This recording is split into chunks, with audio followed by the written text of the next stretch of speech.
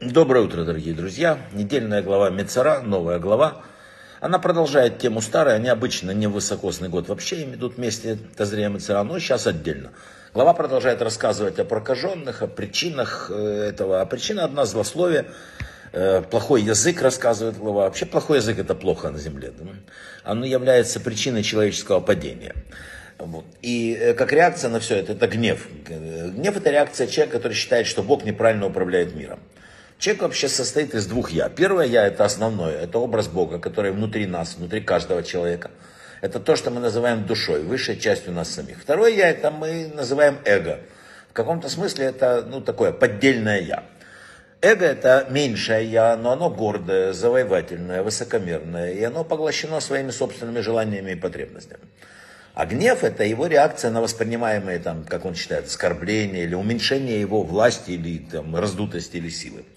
Частые приступы гнева и вспышки ярости, они вообще это предупреждение для человека о том, что его меньшее «я» заняло, наоборот, большее место и властвует над ним. Был такой раввин Ицхак из Вурки, лидер польского еврейства около 200 лет назад. Он, когда надо было разгневаться, даже важным тем, он набрал такой специальный плащ, там с 200 пуговиц начинал его э, потихонечку застегивать, потому что э, главное это недопустимость спонтанного гнева. Человек может на что-то э, там разгневаться, но вот спонтанные взрывы гнева это совсем другое. Вообще нельзя никогда Бога обвинять в происходящем в человеческом вот, мире. Да? все, все проблемы, все сложности порождаются не Богом. Вообще надо, знаете, если такое заблуждение у человека, он считает, что Бог должен нам служить. Это не так, это мы должны служить Ему. И через это служение приносить в мир какую-то духовность, которая будет очищать, ну, я не знаю, уничтожать теоретические возможности зла. Бог не освобождает нас от ответственности. Вот это надо понять. Наоборот, Он так создал этот мир, что Он призывает нас к ответственности за поступки, за мысли, за слова, за все это. Когда первый раз это все было? Когда Адам и Ева согрешили, Адам обвинил свою жену, жена обвинила змея. И вот вся история человечества это попытка ухода от ответственности за собственные поступки. Это продолжается по сегодняшний день. Подобное серьезное отношение к злословию вообще, к языку, в иудаизме лежит в глубоких корнях понимания человеческой природы и природы Бога. Того Бога, который создал мир словом. Бог проявляет себя в словах. Он говорил с патриархами, говорил с народом у горы Синай. О создании человека сказано как? И вдул в его ноздри дыхание жизни, и стал человек живым существом.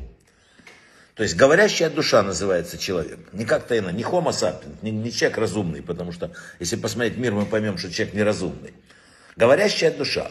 А это живое существо, человек, называется разумным только в нашем мире.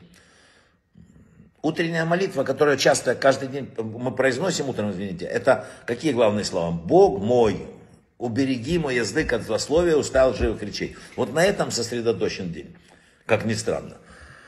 Когда это начиналось, если вы помните? Вообще все эти рассказы о прокаженных, где первый раз это было? Бог дал Маше первый раз при встрече три знамения. Воду превратил в кровь, потом змея превратился в посох, и потом рука, которую он засунул себе за пазуху, стала э, покрыта проказой. За что? Это был намек на то, что когда сказал, что евреев ты выведешь, он сказал, они мне не поверят. Вот как только злословие первое было сказано, тут же показалось, как это будет. Да, это было случайно, да, это было, ну, как бы, не глобально, но это нам показали, как это будет. Устная Тора доносит до нас такую историю. Некий уличный торговец ходил из города в города и кричал, кто хочет получить долголетие, продаю долголетие. Подошел к нему Раби Янай, великий учитель Талмуда, и поинтересовался, «А что ж ты продаешь? И тут говорит, пожалуйста, открывает э, Тигелим, Псалмы Давид написано, человек, любящий жизнь, стремящийся к долголетию, чтобы видеть добро, что надо сделать? Стереги свой язык от зла и уста свои от лживых слов. Не совершай зла и делай добро. Ищи мира, стремись к нему. И ты, вот, вот залог долголетия и нормальной жизни. Так написано в наших книгах. Пришел один к Равину и говорит, Рэбе, почему заповедано не гневаться и прощать обиды? Равин ему говорит, скажи, а у тебя на сердце хорошо, когда ты гневаешься? Тот говорит, нет. А хорошо тем, на кого ты гневаешься? Он говорит, тоже нет. А когда тебе и другим плохо, разве это хорошо? Он говорит, нет, конечно. Так прощай, чтобы тебе и другим было хорошо.